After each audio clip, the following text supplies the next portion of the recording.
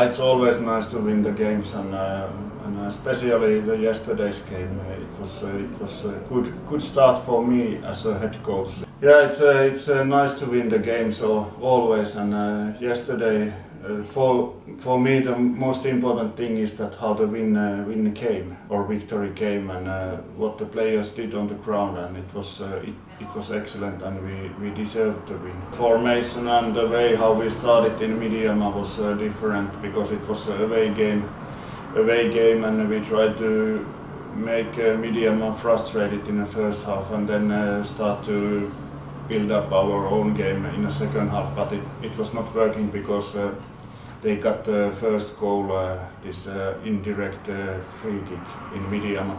But uh, yesterday's game, uh, we went back to the basics and uh, start to play with the diamond, what we have done uh, the whole season, and, uh, and it was working. And uh, all the players who were on the field and uh, who went to the field, uh, like substitutions, they were they were good. I was seeing that the goal is coming, so I just had to say in a halftime that uh, that uh, we continue the same, but we had to cool down a little bit for the final decisions uh, in the final third.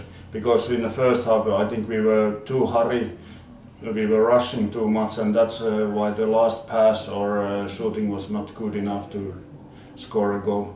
Thank you.